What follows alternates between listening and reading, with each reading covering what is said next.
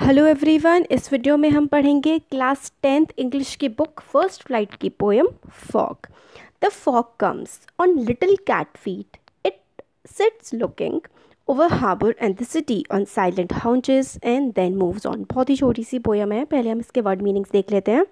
तो देखिए, इसमें आपको फॉग जो होता है, जो धुंध आ जाती है ना, सर्दियों के टाइम पे कोहरा जो होता है, उसी को हम फॉग कहते हैं।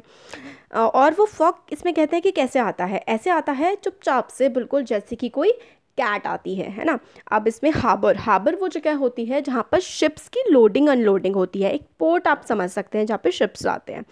और हाउंचेस जो है, उसका मतलब होता है हिप्स। ये हो गया तीनों मीनिंग अब इसका पूरा सेंट्रल आइडिया क्या है पोएम का? कि फॉग को कैट की तरह बताया गया है, जैसे कैट चुपचाप आती है और चुपचाप चली जाती है। तो मतलब नेचर के वंडर के बारे में नेचर की ब्यूटी खूबसूरती के बारे में इस पोएम में हमारे बात की गई। आपकी बुक में मोस्टली नेचर से रिलेटेड ही पोएम्स गिवन है। तो एक्सप्लेनेशन में देखिए कि एक्सप्रेशन जो है व्यू ऑफ़ फॉग का, जो फॉग दिखता है, उसको कैट से कंपेयर किया गया है। फॉग जो है, इसमें कहते हैं पोएट कि सिर्फ़ एक नेचुरल फिनोमिना नहीं है, एक नेचर की चीज़ नहीं है, बल्कि ये तो एक क्रीचर है, ये तो एक जैसे कि कोई, जैसे कैट है, एक तरह से कैट है, बिल्कुल कैट के जैसी है, ऐसा पोएट बोलते हैं। जैसे कैट चुपचाप वॉक करती है, अपने स्मॉल फीट अपने छोटे छोटे पैरों के हेल्प से, जिस तरीके से कैट मूव करती है फॉग भी बिल्कुल इसी तरीके से आता है। बिना कि कोई इसको टेंशन ना दे, कोई इसकी तरफ़ देखे ना, वो चुपचाप आता है इस तरीके से। और उसकी जो फॉग की प्रेजेंस है, पूरी सिटी में जो है हमें पता लग जाती है और कैट की तरह वो जो है चुपचाप अपने हाउंचेस पर बैठ जाता है और बैठ करके पूरा फॉग पूरी सिटी को देख रहा होता है और सिटी के हार्बर को सिटी के पोर्ट को देख रहा होता है।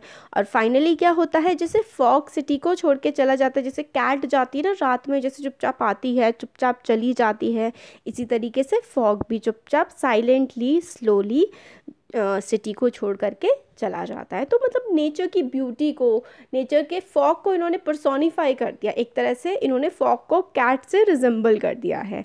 तो इसमें पोएटिक डिवाइसेस जो यूज़ की गई हैं, वो है कंपैरिजन तो कंपैरिजन को हम लोग बोलते हैं एनालॉगी तो एनालॉगी का इसमें इस्तेमाल किया गया है। क्यों? क्योंकि comparison of a fog to a cat fog को कैट से इन्होंने कंपेयर किया है। और क्या यूज़ किया है? मेटाफर मेटाफर का इस्तेमाल, जैसे कि इस्तेमाल होता है मेटाफर का, कि इन्होंने क्या कह दिया है? फॉग को इन्होंने कैट ही कह दिया है। बिल्कुल कि मतलब फॉग तो कैट ही है। तो इस वाली चीज़ को हम लोग बोलते हैं मेटाफर। और राइमिंग स्कीम तो कोई है नहीं है तो फ्री वर्ड्स है। तो इसकी हम लोगों ने पोइटिक डिवाइस देख ली, एनालॉगी और मेटाफर इसमें इस्तेमाल किया गया है। डिफ़िकल्ट वर्ड जिसकी फॉग जो होता है वो कोहरा होता है, हार्बर होता है पोर्ट हाउंचेज होते हैं, हिप्स। और एक्सप्लेनेशन में कि जो फॉग है, वो बिल्कुल कैट जैसा है, चुपचाप आता है, चुपचाप चला जाता है, बैठ के सिटी को देखता है, बस यही है इसमें। तो होगी वाली में पोएम थैंक यू